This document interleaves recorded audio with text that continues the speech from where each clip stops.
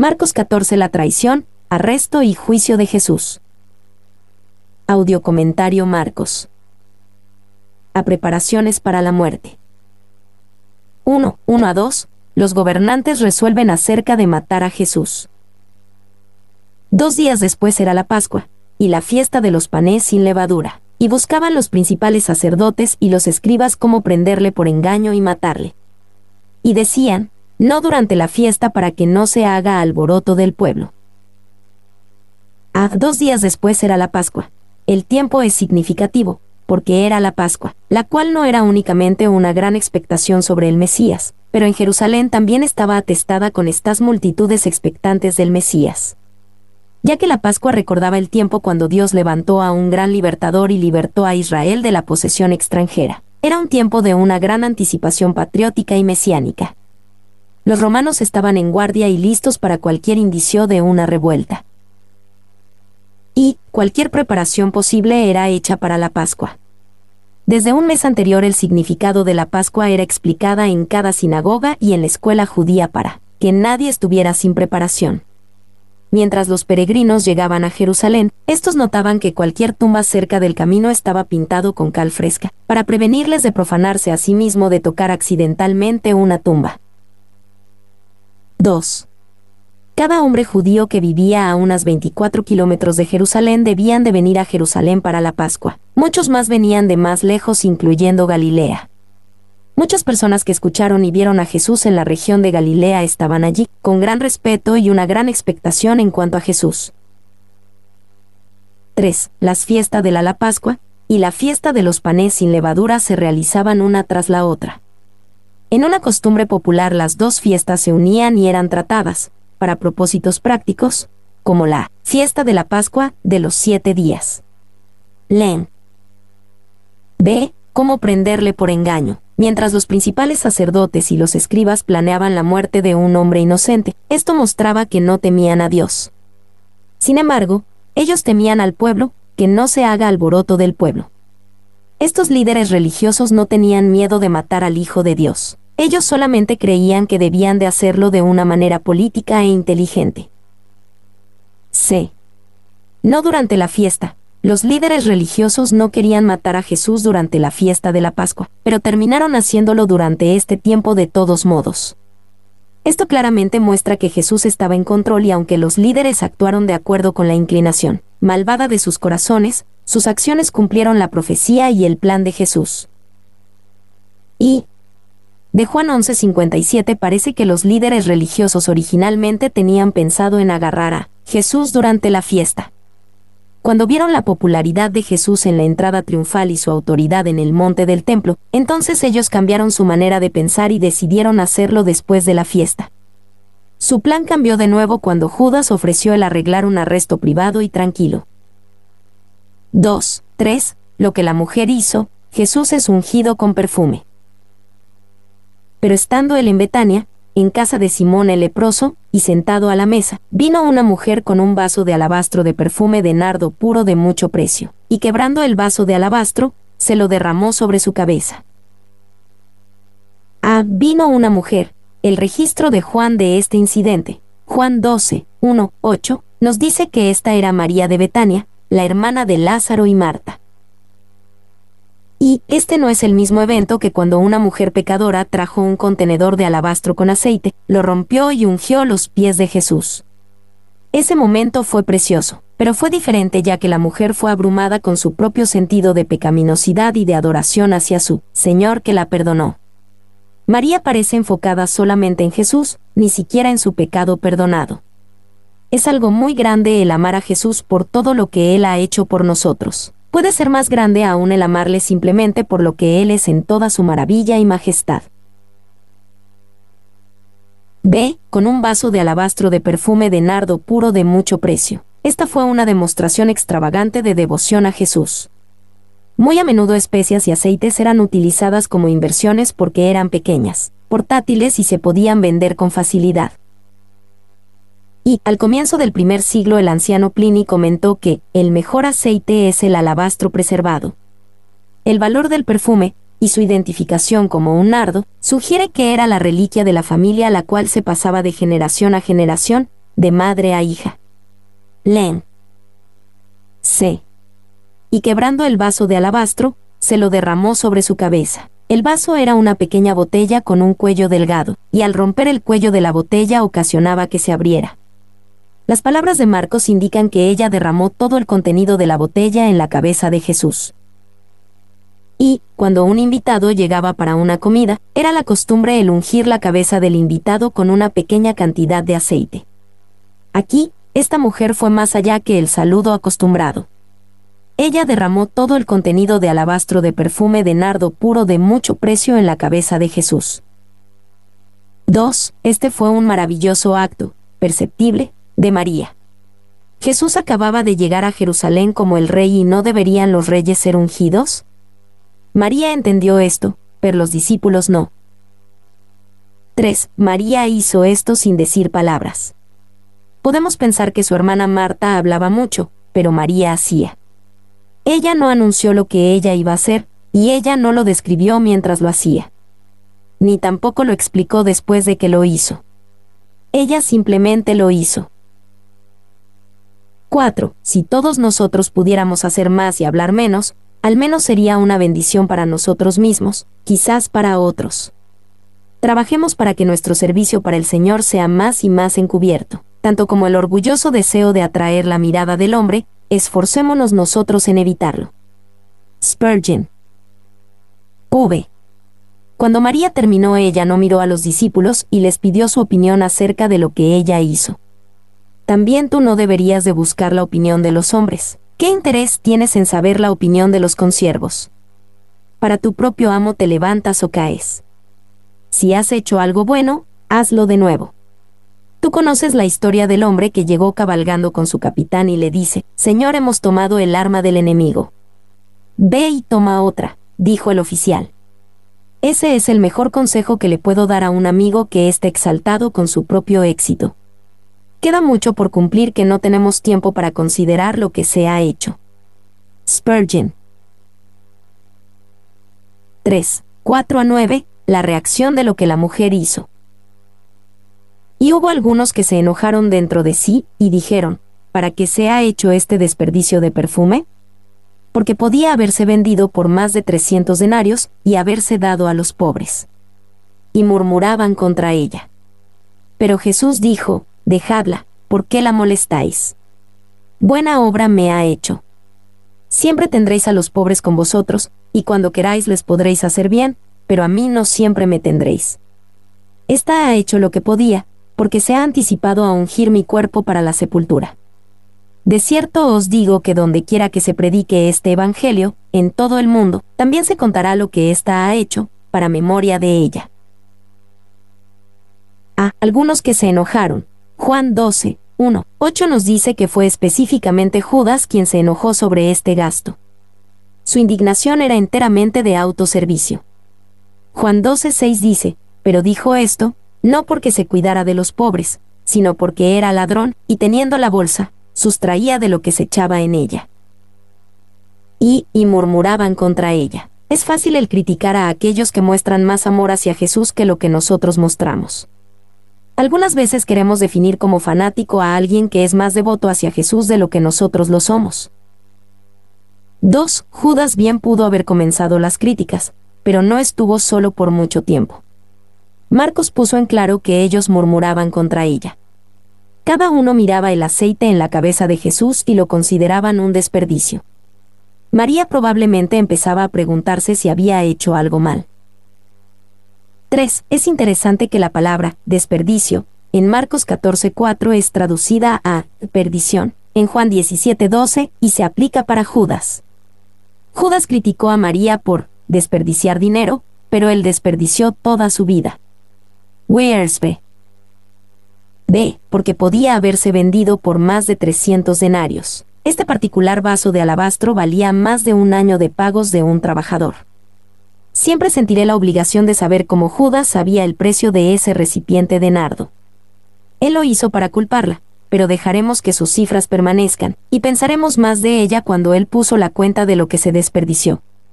Nunca podré saber cuánto fue el costo, tampoco tú lo sabrás, si Judas jamás lo hubiera apuntado en su libreta de bolsillo.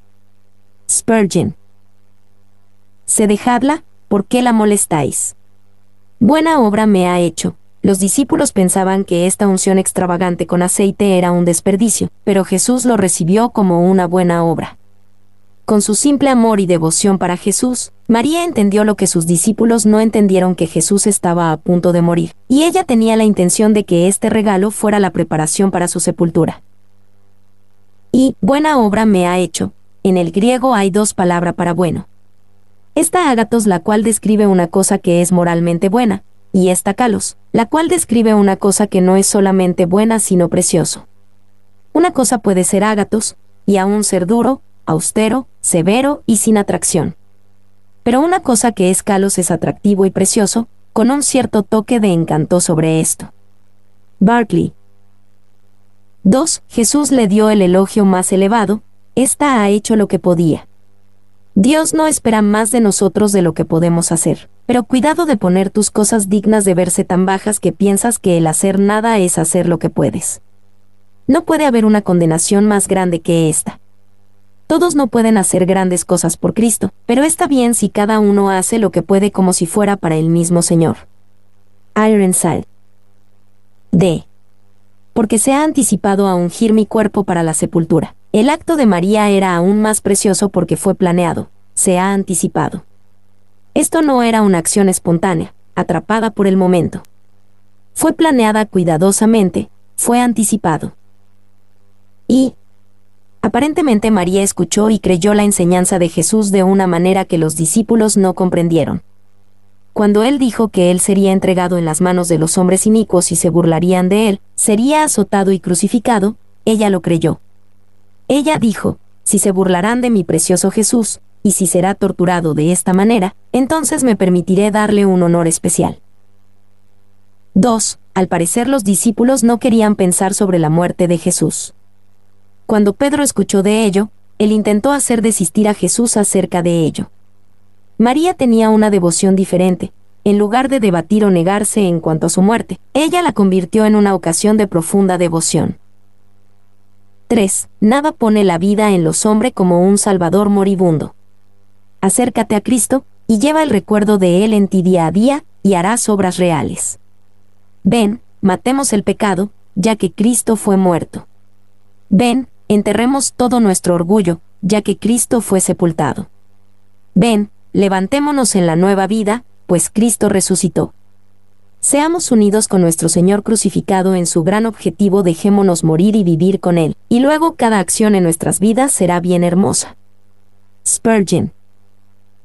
E, donde quiera que se predique este Evangelio, en todo el mundo, Jesús sabía que Él iba a morir, pero Él no flaqueó en la confianza ni un poco.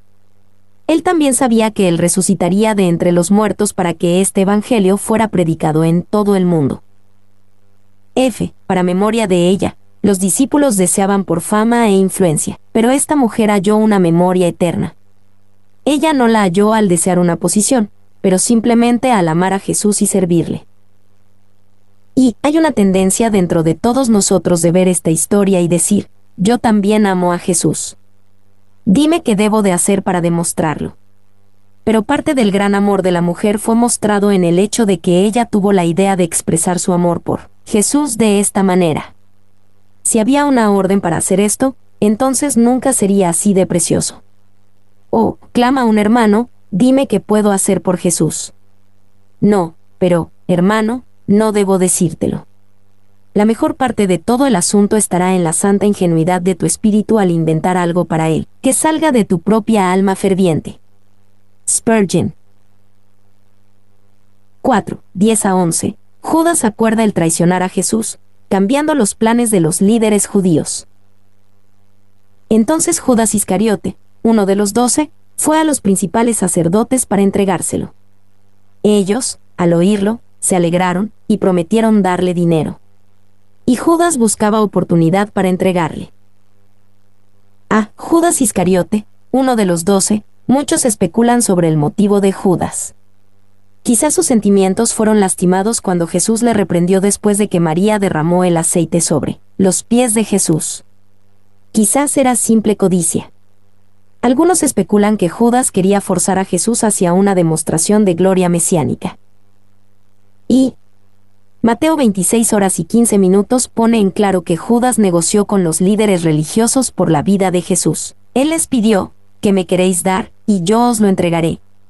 Ciertamente que parte de sus motivaciones era la codicia. 2. Fuera cual fuere los motivos de Judas, fue su motivo. Dios utiliza la obra impía de un Satanás dispuesto, quien utilizó a un Judas dispuesto.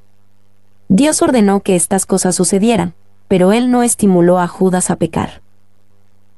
B. Ellos, al oírlo, se alegraron. Los líderes religiosos habían querido destruir a Jesús desde hace mucho tiempo. Marcos 3:6. Ahora ellos tenían a un aliado precioso, un discípulo dispuesto a entregarle. D. La última Pascua de Jesús con sus discípulos. 1, 12 a 16. Preparación para la Pascua. La fiesta en recordatorio de la redención de Israel. El primer día de la fiesta de los panes sin levadura, cuando sacrificaban el cordero de la Pascua, sus discípulos le dijeron, ¿Dónde quieres que vayamos a preparar para que comas la Pascua? y envió dos de sus discípulos, y les dijo, Ide a la ciudad, y os saldrá al encuentro un hombre que lleva un cántaro de agua, seguidle, y donde entrare, decida al señor de la casa. El maestro dice, ¿Dónde está el aposento donde he de comer la Pascua con mis discípulos? Y él os mostrará un gran aposento alto ya dispuesto, preparad para nosotros allí. Fueron sus discípulos y entraron en la ciudad, y hallaron como les había dicho, y prepararon la Pascua. A. Un hombre que lleva un cántaro de agua. Esta era una seña inusual. Las mujeres usualmente llevaban los líquidos en cántaros, y los hombres normalmente llevaban líquidos en contenedores de pieles de animales. Por lo tanto, un hombre que lleva un cántaro era una señal distintiva para los discípulos. B. El maestro dice, ¿dónde está el aposento? Aquí la escena implica discreción, y Jesús tenía una buena razón para hacer los arreglos de una manera íntima para la Pascua. Jesús no quería que Judas le traicionara antes de que él pudiera hablar de cosas importantes con los discípulos. Y el Señor debió de tener muchos discípulos desconocidos, sobre los cuales él pudo confiar en tales momentos para pasarles un servicio incondicional. Col. C. Y prepararon la Pascua. Al parecer hay una diferencia entre entre los evangelios sinópticos, Mateo, Marcos, Lucas y Juan en cuanto a la Pascua. La implicación de los evangelios sinópticos es que Jesús fue crucificado en el día después de la Pascua, y que esta comida fue el día anterior. Juan parece decir que Jesús fue crucificado en el mismo día de la Pascua, como el Cordero de la Pascua. Juan 18, 28 y 19, 14. Y, posiblemente la mejor explicación es que había diferentes calendarios en uso. Jesús murió como la víctima de la Pascua donde fue muerto de acuerdo al calendario oficial pero él hubo participado de la Pascua con sus seguidores la noche anterior, de acuerdo con el calendario extraoficial. Morris. 2. Ninguno de los evangelios sinópticos mencionan a un cordero durante la comida de la Pascua. Algunos creen que esto es porque ellos no podían obtener uno antes del día oficial de la Pascua. Jesús quizás lo quiso de esta manera para poder enfatizar la idea de que Él era el sacrificio de la Pascua. 2. 17 a 21, Jesús le da a Judas una oportunidad de arrepentirse. Y cuando llegó la noche, vino él con los doce. Y cuando se sentaron a la mesa, mientras comían, dijo Jesús, De cierto os digo que uno de vosotros, que come conmigo, me va a entregar. Entonces ellos comenzaron a entristecerse, y a decirle uno por uno, ¿seré yo? Y el otro, ¿seré yo? Él, respondiendo, les dijo, es uno de los doce, el que moja conmigo en el plato. A la verdad el Hijo del Hombre va, según está escrito de él, más, hay de aquel hombre por quien el Hijo del Hombre es entregado. Bueno le fuera a ese hombre no haber nacido. Ah, vino él con los doce, en la primera Pascua. Dios les ordenó que comieran de la comida estando parados y listos para dejar Egipto, Éxodo 12:11. Ya que Israel había llegado a la tierra prometida, ellos creían que podían comer la Pascua sentados o reclinados, porque ellos ahora estaban descansando en la tierra que Dios les dio. Ve, uno de vosotros, que come conmigo, me va a entregar. Los discípulos escucharon muchas cosas sorprendentes de parte de Jesús, pero ciertamente esta era una de las cosas más sorprendentes que ellos habían escuchado. Ninguno de ellos sospechaba de Judas, y la idea que ninguno de ellos buscaría el entregar y matar a Jesús parecía absurdo. C. Es uno de los doce, el que moja conmigo en el plato. Al decir, el que moja conmigo en el plato, Jesús no señaló a Judas, aunque Judas, sentado en el lugar de honor, se le pudo dar una porción especial. Todos los discípulos mojaban con él en el plato, así que esta frase identificaba al traicionero como a un amigo. Y, en la cultura de Medio Oriente, el traicionar a un amigo después de comer con él era tenido, y es tenido como el peor tipo de traición. D. Hay de aquel hombre por quien el Hijo del Hombre es entregado. Judas es correctamente tenido como uno de los pecadores más notables de todos los tiempos. Aun cuando sus acciones cumplieron la profecía, el Hijo del Hombre va, según está escrito de él, su propio motivo inicuo le condenó. Judas jamás será capaz de justificarse delante de Dios en el día del juicio al decir, estaba cumpliendo la profecía. Y en la advertencia de Jesús vemos un profundo amor por Judas. Esta era su última, fugaz, oportunidad de volver de su planeación inicua. Una cosa notable es el recordar que Jesús amó a ambos, a María y Judas. Casi queremos pensar que él amó a María y odió a Judas, pero este no era el caso. Si nosotros fallamos en ver su amor hacia Judas, amor rechazado, seguramente si hallamos en ver ese amor, erramos en toda la historia. 3. 22 a 25, la última cena. Y mientras comían, Jesús tomó pan y bendijo, y lo partió y les dio, diciendo, Tomad, esto es mi cuerpo. Y tomando la copa, y habiendo dado gracias, les dio, y bebieron de ella todos. Y les dijo, Esto es mi sangre del nuevo pacto, que por muchos es derramada. De cierto os digo que no beberé más del fruto de la vid, hasta aquel día en que lo beba nuevo en el reino de Dios. A Jesús tomó pan y bendijo, y lo partió, cuando el pan fue levantado en la Pascua, la cabeza de la comida diría, Este es el pan de la aflicción la cual nuestros padres comieron en la tierra de Egipto. Cualquiera que tenga hambre que venga y comal, cualquiera que esté necesitado venga y coma de la Pascua.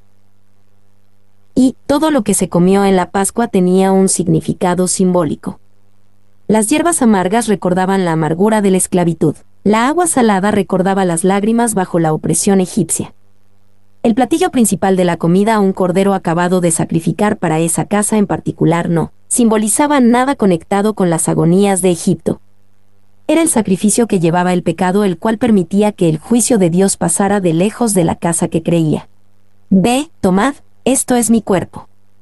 Esto es mi sangre del nuevo pacto, Jesús no dio la explicación normal para cada uno de los alimentos. Él las interpretó en sí mismo, y el enfoque ya no estaba en el sufrimiento de Israel en Egipto, sino en el pecado que llevó el afligido Jesús por parte de ellos.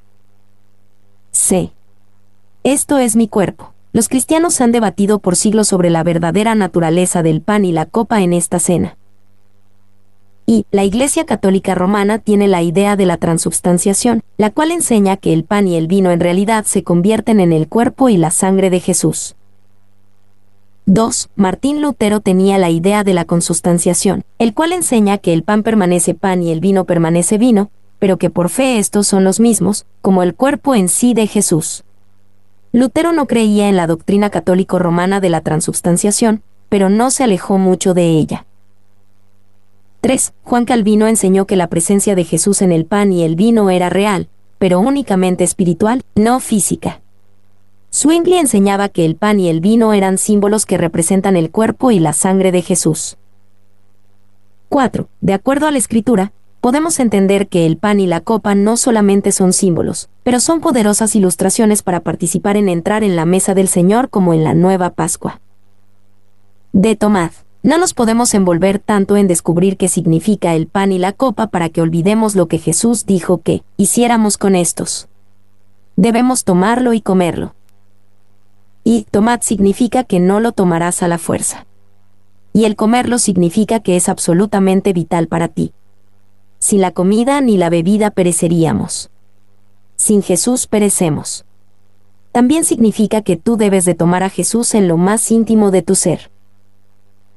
E, esto es mi sangre del nuevo pacto, que por muchos es derramada. Más allá de toda controversia en cuanto a qué son y qué significan los elementos de esta cena, el anuncio de que Jesús trae un nuevo pacto sobresale. Y ningún hombre común podría jamás instituir un nuevo pacto entre Dios y el hombre, pero Jesús es Dios hombre. Él tiene la autoridad para establecer un nuevo pacto, sellado con sangre, de la misma manera que el antiguo pacto era sellado con sangre, Éxodo 24:8. 2. Este pacto está enfocado en una transformación interna la cual nos limpia de todo pecado, porque perdonaré la maldad de ellos, y no me acordaré más de su pecado. Jeremías 31 horas y 34 minutos. Esta transformación pone la palabra y voluntad de Dios en nosotros. Daré mi ley en su mente, y la escribiré en su corazón. Jeremías 31 horas y 33 minutos. Este pacto se trata de una nueva y cercana relación con Dios. Yo seré a ellos por Dios y ellos me serán por pueblo. Jeremías 31 horas y 33 minutos. F. Hasta aquel día en que lo beba nuevo en el reino de Dios, Jesús aún no ha celebrado la Pascua en el cielo. Él aún espera que todo su pueblo esté reunido con él, y entonces habrá una gran cena, la cena de las bodas del Cordero. Apocalipsis 19:9. Este es el cumplimiento en el reino de Dios que Jesús deseaba. 4, 26 a 31, Jesús predice el abandono de los discípulos y la negación de Pedro. Cuando hubieron cantado el himno, salieron al monte de los olivos. Entonces Jesús les dijo, Todos os escandalizaréis de mí esta noche, porque escrito está, heriré al pastor, y las ovejas serán dispersadas. Pero después que haya resucitado, iré delante de vosotros a Galilea. Entonces Pedro le dijo, aunque todos escandalicen, yo no, y le dijo Jesús, de cierto te digo que tú, hoy, en esta noche, antes que el gallo haya cantado dos veces, me negarás tres veces. Mas él con mayor insistencia decía, si me fuere necesario morir contigo, no te negaré. También todos decían lo mismo. Ah, cuando hubieron cantado el himno, casi no pensamos que Jesús cantaba, pero sí lo hacía. Él elevaba su voz en adoración y culto a Dios el Padre. Podremos preguntarnos indefinidamente cómo sonaba su voz, pero sabemos con certeza que él cantaba más que con su voz, y él levantaba todo su corazón en alabanza. Esto nos recuerda que Dios quiere ser alabado con cantos. Y es notable que Jesús pudiera cantar en esta noche antes de su crucifixión. ¿Podrías tú cantar en tales circunstancias? ¿Dejarías que Jesús fuera tu líder de adoración? ¿Qué? ¿Un cristiano callado cuando los demás están alabando a su amo? No, él se debe de unir en la canción. Satanás intenta que el pueblo de Dios queden mudos, pero él no puede, pues Dios, en toda su familia, no tiene hijos atados de la lengua. Todos pueden hablar, y todos pueden clamar, aun cuando no puedan todos cantar, y creo que hay tiempos cuando todos pueden cantar. Sí, ellos deben de hacerlo, pues conoces la promesa, entonces la lengua del mudo cantará. Seguramente, cuando Jesús dirige la tonada, si debiera de haber notas de silencio en la familia de Dios, ellos deben de comenzar a alabar el nombre del Señor. Spurgeon 2. Esto significa que debemos de cantar a Dios nuestro Padre de la misma manera que lo hizo Jesús debido a que esto es algo que le agrada a Él, y cuando amamos a alguien queremos hacer las cosas que le agradan. En realidad no importa si nos agrada o no a nosotros. 3. ¿Qué es el cantar sino una expresión emocional? O. El valor y poder de la emoción. Las emociones inicuas mata la gloria y vida del Señor. La emoción pura hace posible la salvación de los asesinos. Morgan. B. Cantando el himno. Es maravilloso que Jesús cantaba, pero ¿qué cantaba? Una comida de Pascua siempre terminaba cantando tres salmos conocidos como el Hallel, Salmos 116 a 118. Seguramente las palabras de estos salmos ministraban a Jesús mientras él las cantaba en la noche anterior a su crucifixión. Y, cuando Jesús se levantó para ir a Getsemaní, el Salmo 118 estaba en sus labios. Le proveyó de una descripción apropiada de cómo Dios guiaría al Mesías a través del peligro y sufrimiento hacia la gloria. Len. C. Salieron al monte de los olivos. Jesús se demoró con ellos en el aposento alto para el maravilloso discurso y oración en Juan 14 al 17. quizás ellos salieron a la calle después de Juan 14:31. Robertson. Y nuestro Señor sabía que su tiempo ahora había llegado, cuando Él debía de ser entregado en las manos de sus enemigos. Que Él, por lo tanto, no causaría ningún disturbio al jefe de familia donde Él estaba, o a la ciudad. Aunque ya era medianoche, Él salió de la ciudad. Ironside. D.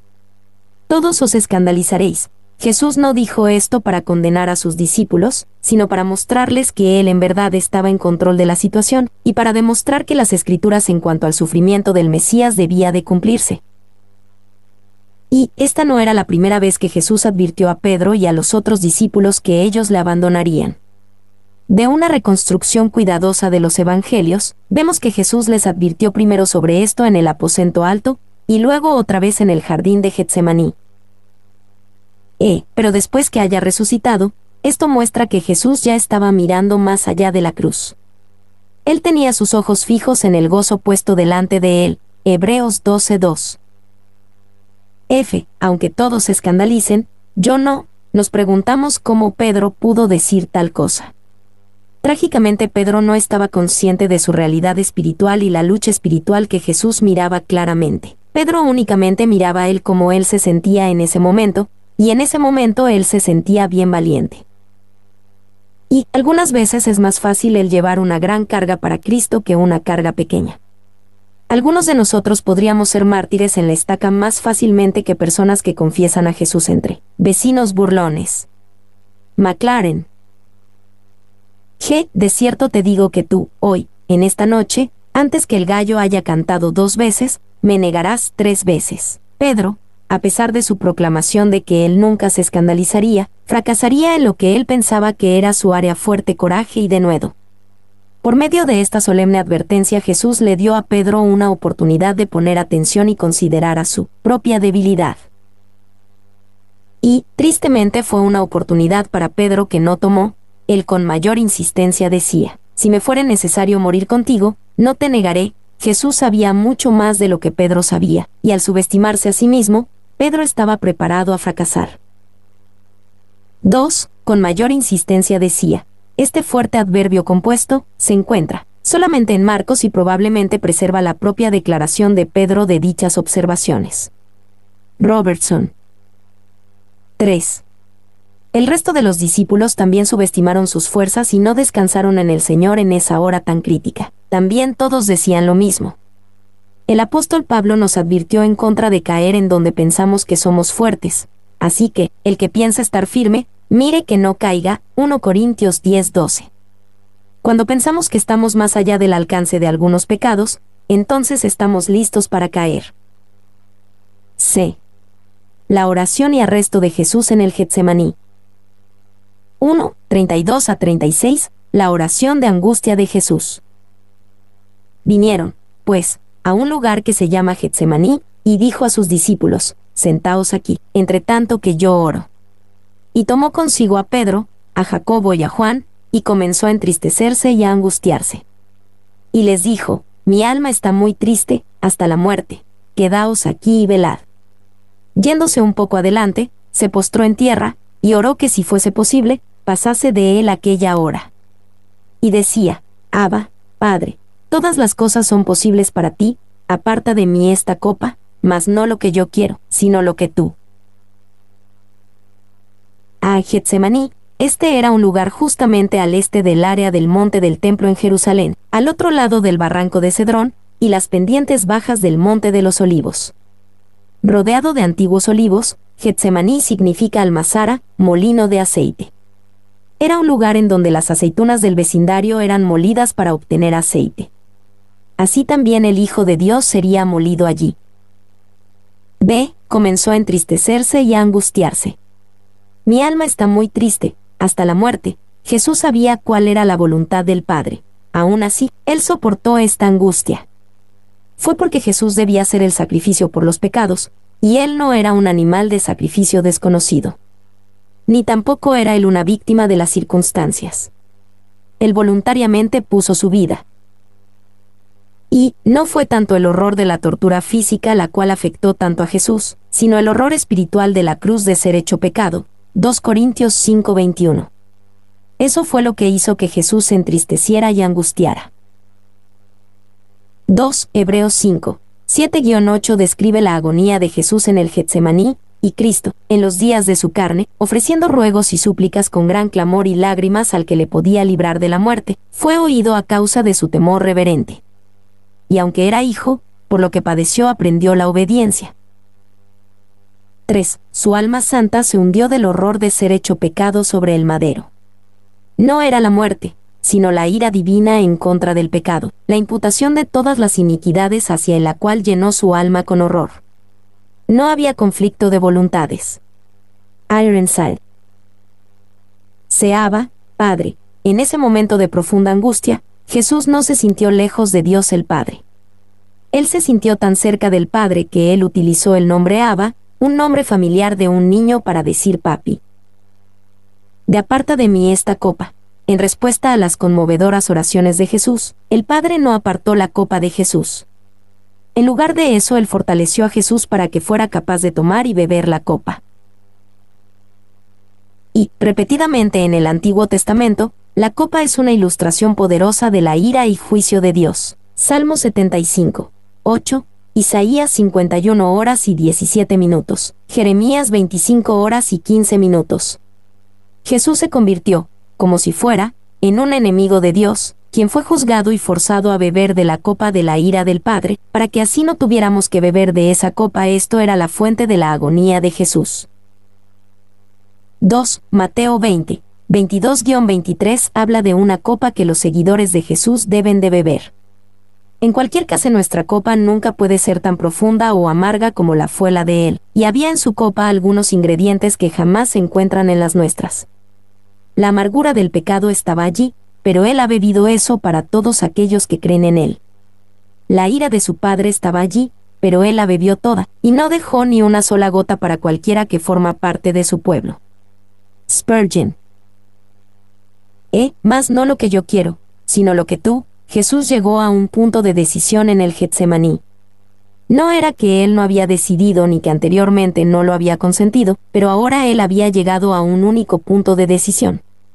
Él bebió la copa en el Calvario, pero él decidió de una vez por todas el beberla en el Getsemaní. La lucha de la cruz fue ganada en el jardín de Getsemaní. Y esta lucha en el Getsemaní, el lugar donde fue molido, tiene un lugar importante para cumplir el plan de redención de Dios. Si Jesús hubiera fracasado allí, él hubiera fracasado en la cruz. Su éxito hizo que la victoria de la cruz fuera posible. F. Si fuese posible, Jesús no estaba pidiendo permiso para dejar que la humanidad pereciera en el infierno. Él estaba pidiendo al Padre, si hay alguna otra forma posible de salvar a la humanidad, que sea otra que la agonía que me espera en la cruz que sea así. Pero no había otra manera, así que Jesús fue a la cruz. Y esta oración de parte de Jesús elimina cualquier otra manera de salvación. Si hay otra manera, su muerte no era necesaria y su oración no fue contestada. G. No lo que yo quiero, sino lo que tú. Algunos critican esta forma de orar de parte de los cristianos, al decir que es una oración falta de fe. Pero el orar no lo que yo quiero, sino lo que tú es una oración de gran fe y confianza en Dios. Si tal oración insulta a Dios, entonces Jesús insultó a su Padre en un momento crucial en el jardín del Getsemaní. 2. 37 a 42, los discípulos dormían. Vino luego y los halló durmiendo, y dijo a Pedro, Simón, ¿duermes? ¿No has podido velar una hora?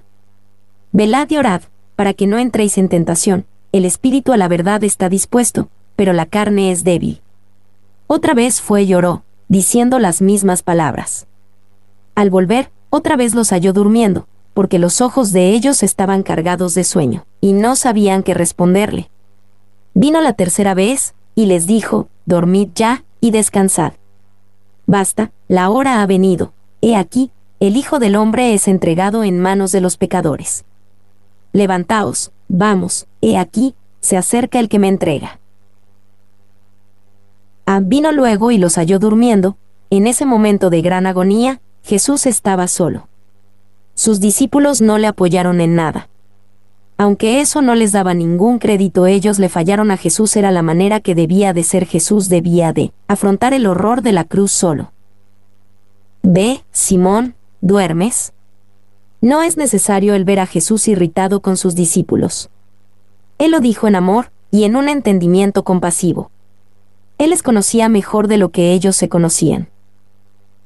Y Pedro debió de haberse sobresaltado un poco al escuchar a Jesús llamarle Simón. Este era el antiguo Simón dormido, no el hombre nuevo, Pedro.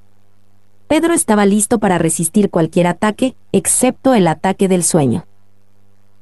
Se velad y orad, para que no entréis en tentación, Jesús sabía que Pedro fracasaría, pero él animó hacia la victoria sabiendo que los recursos se hallan en velar y orar. Si Pedro despertaba, tanto física como espiritualmente, y se acercaba en dependencia hacia Dios, él se hubiera mantenido de negar a Jesús en una hora tan crítica. Y Jesús halló victoria en la cruz al sobresalir en la lucha en el Getsemaní. Pedro de la misma manera que nosotros fracasó en la tentación posterior debido a que él fracasó en velar y orar. La batalla espiritual a menudo se gana o pierde antes de que llegue la crisis. D. Otra vez fue y oró, diciendo las mismas palabras. Jesús repitió la oración trazada en Marcos 14. 34-36. Algunos dicen que no es espiritual, o que refleja una falta de fe, aún, nunca podemos acusar a Jesús de no ser espiritual o de no tener fe. E, al volver, otra vez los halló durmiendo. Vino la tercera vez, y les dijo, dormid ya, y descansad. Tres veces oró Jesús. Tres veces Jesús fue a ver si sus discípulos estarían con él en oración y que orarían por fuerzas para la prueba, que se acercaba pero cada vez ellos dormían. Y ya era suficientemente malo que los discípulos no velaban y oraban para sí mismos, pero ellos debieron de velar y orar con disposición simplemente por el bien de Jesús. A través de la oración y el compañerismo, debemos de estar de pie con otros en los tiempos de necesidad. 2. Él les dijo que, siguieran durmiendo, y ellos durmieron, y él veló por ellos mientras dormían. En efecto, él dijo, vayan y duerman, yo puedo velar, y él veló por ellos mientras dormían. Morgan. F. Basta. No debemos de pensar que Jesús estaba enojado o irritado debido a que sus discípulos no le ayudaron. Él quería que los discípulos le ayudaran a estar de pie en oración, no por su propio bien, sino por el beneficio de ellos. Jesús podía estar solo de pie en contra de la prueba de la cruz, pero ellos, al no orar, no podían. 3. 43 a 52, el arresto de Jesús de Nazaret en el jardín de Getsemaní. Luego, hablando el aún, vino Judas, que era uno de los doce, y con él mucha gente con espadas y palos, de parte de los principales sacerdotes y de los escribas y de los ancianos. Y el que le entregaba les había dado señal, diciendo, Al que yo besare, ese es, prendedle, y llevadle con seguridad. Y cuando vino, se acercó luego a él, y le dijo, Maestro, Maestro. Y le besó. Entonces ellos le echaron mano, y le prendieron. Pero uno de los que estaban allí, sacando la espada, hirió al siervo del sumo sacerdote, cortándole la oreja. Y respondiendo Jesús, les dijo, ¿Como contra un ladrón habéis salido con espadas y con palos para prenderme? Cada día estaba con vosotros enseñando en el templo, y no me prendisteis, pero es así, para que se cumplan las escrituras. Entonces todos los discípulos, dejándole, huyeron. Pero cierto joven le seguía, cubierto el cuerpo con una sábana, y le prendieron, mas él, dejando la sábana, huyó desnudo. A, al que yo besare. Aparentemente Jesús era lo suficientemente normal en apariencia que era necesario que Judas le identificara. Él escogió el identificar a Jesús al saludarle con un beso. Esta era una cruel pretensión de afecto, especialmente al añadir, maestro, maestro al saludo.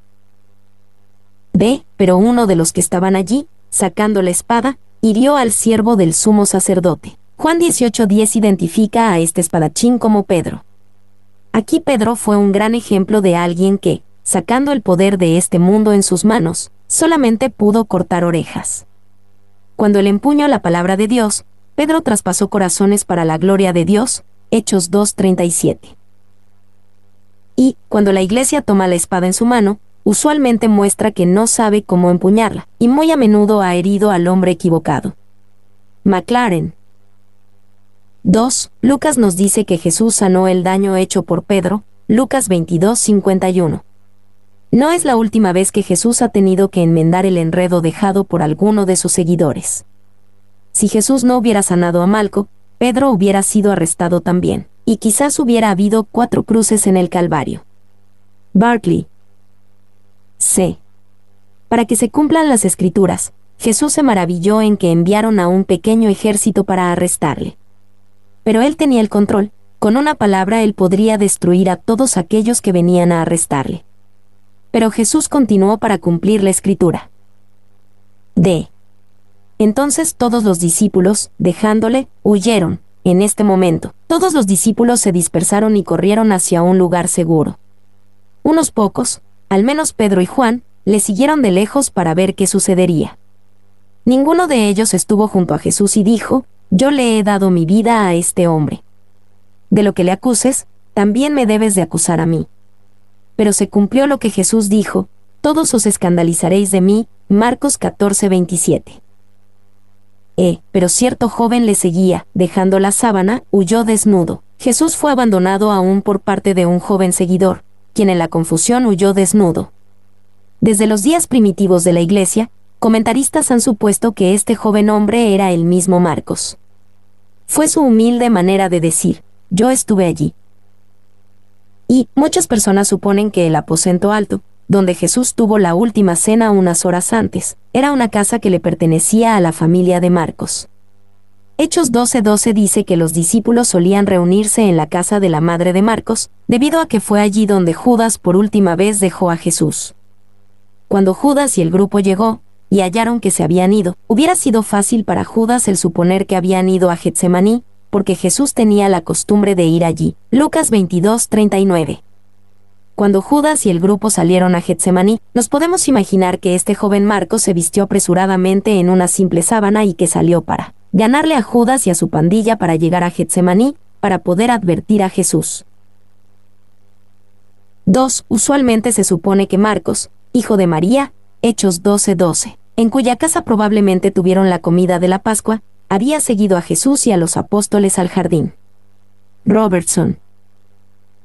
3. El espíritu modesto de Marcos parecía decir, amigo Pedro, mientras el Espíritu Santo me mueve, di a tu culpa, y deja que se mantenga para el registro. Él también me constriña a escribir mi historia como un tipo de prefacio, pues yo también, en mi loca y neciamente rápida, hubiera corrido, así como estaba desnudo, sobre la guardia para rescatar a mi señor y amo. Sin embargo, a primera vista de los duros legionarios, al primer vistazo de sus espadas, huí lejos, con miedo, con el corazón desfallecido, y con el temor que yo también fuera tomado bruscamente. Spurgeon. De el juicio delante del Sanedrín. 1. Marcos no registró el juicio preliminar delante de Anás, quien era el poder verdadero detrás del cargo del sumo sacerdote, registrado en Juan 18, 12-13 y 19 a 23, tampoco registró el segundo juicio de Jesús delante del Sanedrín, el juicio oficial a la luz del día registrado en Lucas 22, 66-71. Ah, hay similitudes entre estos juicios, debido a que las mismas personas estaban involucradas. Siempre había tres fases en los juicios de Jesús delante de las autoridades judías, y tres fases de su juicio delante de las autoridades romanas, y no deberían de ser confundidas. B. Sobre su arresto, Jesús fue llevado primero a Anás, luego a una corte ilegal del Sanedrín en la noche, la cual Marcos describirá enseguida, y luego a un juicio oficial del Sanedrín a la luz del día, quien envió a Jesús a Herodes, quien le envió de regreso a Pilato, donde luego él fue a la cruz. 2. 53 a 59, Jesús es acusado delante del Sanedrín. Trajeron, pues, a Jesús al sumo sacerdote, y se reunieron todos los principales sacerdotes y los ancianos y los escribas. Y Pedro le siguió de lejos hasta dentro del patio del sumo sacerdote, y estaba sentado con los alguaciles, calentándose al fuego.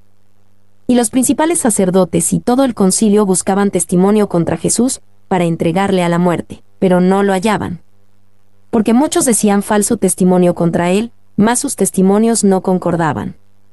Entonces levantándose unos, dieron falso testimonio contra él, diciendo, nosotros le hemos oído decir, yo derribaré este templo hecho a mano, y en tres días edificaré otro hecho sin mano.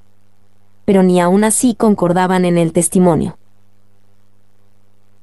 Trajeron, pues, a Jesús al sumo sacerdote. Este juicio de Jesús era terriblemente ilegal de acuerdo con la ley judía. Había mucho en el proceso legal judío para proteger los derechos de los acusados, y todo esto fue ignorado y fue deliberadamente quebrantado por aquellos que estaban determinados en matar a Jesús.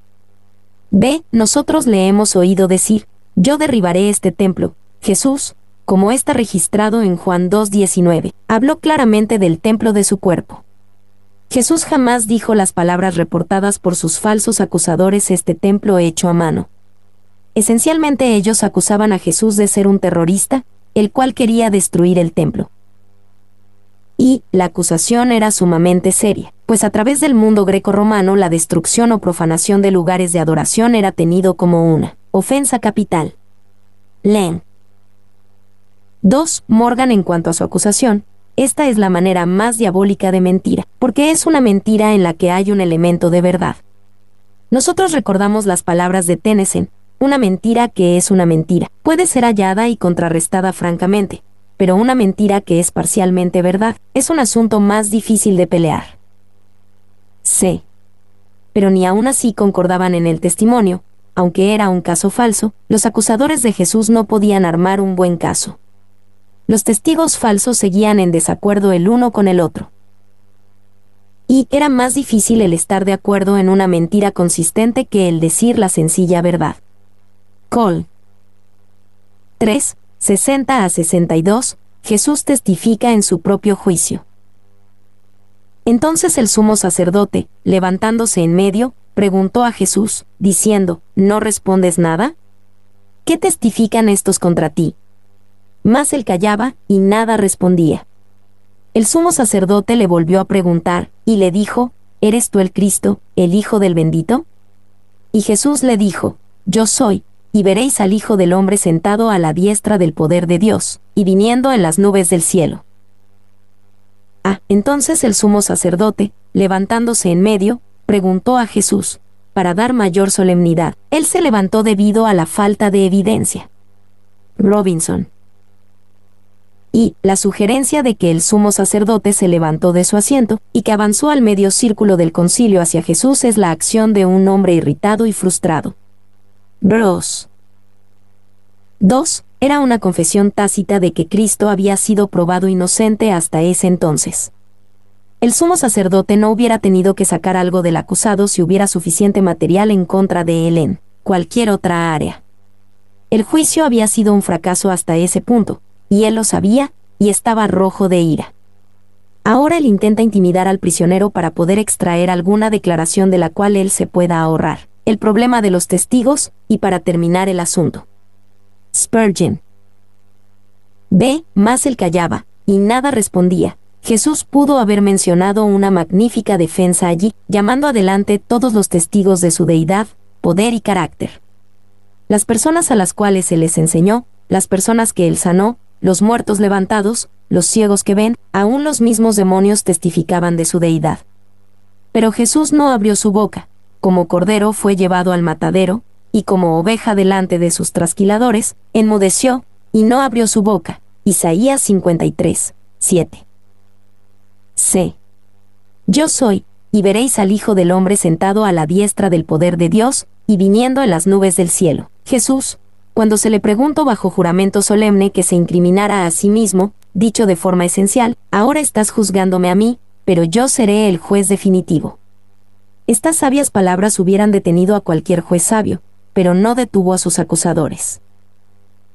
Y, aquí vemos que Jesús estaba siendo juzgado, pareció que él perdió, pero en realidad él ganó. Su conducta en su juicio mostró su inocencia y todo era parte del plan de redención el cual nosotros debemos de recibir como un don de Dios. 2. En un sentido real. No era el juicio de Jesús, era más preciso el decir que los líderes religiosos estaban siendo juzgados. Aparentemente ellos ganaron, pero en realidad perdieron. De hecho, todos estamos compadeciendo un juicio delante de Jesús, y se nos tomará en cuenta lo que hemos hecho por él. 4. 63 a 65, el Sanedrín condena a Jesús a la muerte. Entonces el sumo sacerdote, rasgando su vestidura, dijo, ¿qué más necesidad tenemos de testigos? Habéis oído la blasfemia, ¿qué os parece? Y todos ellos le condenaron, declarándole ser digno de muerte. Y algunos comenzaron a escupirle, y a cubrirle el rostro y a darle de puñetazos, y a decirle, profetiza. Y los alguaciles le daban de bofetadas. Ah, el sumo sacerdote, rasgando su vestidura. Habéis oído la blasfemia. Primero, ellos reaccionaron con justicia propia, horror melodramático, y luego con abuso y brutalidad, algunos comenzaron a escupirle, a darle de puñetazos. B. Y los alguaciles le daban de bofetadas. Tan terrible como fuera el juicio de los líderes religiosos en contra de Jesús, al menos tenía una razón envidia y temor de Jesús. Estos alguaciles, al tomar un placer extraño en torturar a Jesús, ni siquiera tenían una razón. Lo hicieron únicamente por lo que otros, los líderes religiosos, dijeron acerca de Jesús. Y, asombrad, oh cielos, y tener mucho temor. Su rostro es la luz del universo, su persona es la gloria del cielo, y ellos empezaron a escupirle. Ay, Dios mío, ese hombre debe ser muy vil. Spurgeon. C. Y algunos comenzaron a escupirle, y a cubrirle el rostro y a darle de puñetazos. Al entender que Jesús soportó tal dolor y humillación nos debería hacer que respondamos de tres maneras. Y debemos de soportar el dolor y la humillación con valentía por el bien de Jesús. Qué listos debemos de estar para escuchar las burlas y el ser ridiculizados por el bien de Jesús. No te metas en una rabieta y pienses que es extraño que las personas se burlen de ti. ¿Quién eres, querido Señor? ¿Quién eres? ¿Qué puedes ser si te comparas con Cristo? Si ellos le escupieron, ¿por qué no deberían de escupirte a ti? ¿Será que tu amo deba de tomar todo áspero? ¿Recibirá él toda la amargura y tú todo lo dulce? qué bonito soldado eres, que demandas un mejor pago que tu capitán. Spurgeon. 2. Deberíamos de ser más diligentes para alabar a Jesús. Deberíamos de honrar a nuestro querido Señor con seriedad. Si fuimos impacientes para avergonzarle, entonces seamos diez veces más serios para darle gloria. ¿Podemos hacer algo nosotros hoy en día para que Él pueda ser honrado? Ya lo veremos. ¿Podemos hacer algún sacrificio? ¿Podemos realizar alguna tarea difícil para glorificarle? No nos pongamos a deliberar, sino de una vez hacerlo con todas nuestras fuerzas. Seamos inventivos en las maneras que le glorificamos, de la misma manera que sus adversarios fueron ingeniosos en los métodos de su vergüenza. Spurgeon. 3. Deberíamos de tener más seguridad y confianza en recibir la obra terminada de redención de Jesús. Seguramente sé que Él, quien sufrió todo esto, ya que Él era en verdad el Hijo del bendito, debe tener la habilidad para salvarnos. Tales penas deben ser una entera expiación por nuestras transgresiones. Gloria a Dios, que... Pero Él negó otra vez. Y poco después, los que estaban allí dijeron otra vez a Pedro, verdaderamente tú eres de ellos, porque eres Galileo, y tu manera de hablar es semejante a la de ellos. Entonces él comenzó a maldecir, y a jurar, no conozco a este hombre de quien habláis. Y el gallo cantó la segunda vez. Entonces Pedro se acordó de las palabras que Jesús le había dicho, antes que el gallo cante dos veces, me negarás tres veces. Y pensando en esto, lloraba. Ah, estando Pedro abajo, en el patio, mientras Marcos concluye la historia de la negación de Pedro en Marcos 14, 66-72, lo hace como un recuerdo. Esto no sucedió mientras Jesús era golpeado, pero mientras él estaba siendo juzgado. Y el primer problema de Pedro fue que él le siguió de lejos. Marcos 14:54. Cuando nos distanciamos de Jesús, es difícil el estar firmes para él en un tiempo crítico. 2. Luego Pedro estaba sentado con los alguaciles, calentándose al fuego. Marcos 14:54. Pedro encontró compañerismo y calor en la compañía de los impíos, habiendo olvidado el compañerismo de los discípulos que huyeron. Pedro hacerse pasar como uno de la multitud, no como un seguidor de Jesús. 3. Los alguaciles de Marcos 14. 65 quienes golpearon a Jesús son los mismos alguaciles de Marcos 14:54, debido a que el antiguo griego usa la misma palabra para ambos grupos, alguaciles y siervos. Pedro se sentó y se asoció con el mismo hombre que golpeó a Jesús, y le golpearon solamente porque alguien más les dijo que Jesús era un hombre malvado. B. No le conozco, ni sé lo que dices. Un hombre hostil con autoridad interrogó a Jesús. Pedro no se enfrentó a esta clase de interrogación, sino solamente una de las criadas. Pero ella fue suficiente para hacer que Pedro negara a Jesús. Una simple moza hizo dudar y desanimar a este sólido campeón. Ta. Y, no le conozco, ni sé lo que dices. Pedro negó el cargo, utilizando la forma común en la ley rabínica para una negación formal, legal. Len. 2. Y así todo este mal brotó del temor del hombre. ¿Cuántas negaciones de Cristo y su verdad han brotado desde entonces, por la misma causa? Clarke. 3. Al pensar que ayudaría a distanciarse a sí mismo de la asociación con Jesús, Pedro comenzó a maldecir y a jurar. Cuando escuchamos ese tipo de lenguaje, asumimos que la persona no es un seguidor de Cristo Jesús. C. Y pensando en esto, lloraba. Finalmente Pedro se acordó de las palabras que Jesús le había dicho, pero lo recordó muy tarde fue después de que hubo pecado. Luego, todo lo que Pedro pudo hacer fue llorar amargamente, pero él fue restaurado. Y no fue el canto del gallo lo que condenó a Pedro, fue el recordar las palabras de Cristo. Wearsbe. 2. Existe un contraste significativo entre Judas y Pedro. Ambos negaron a Jesús de una u otra manera, pero uno fue restaurado y el otro no.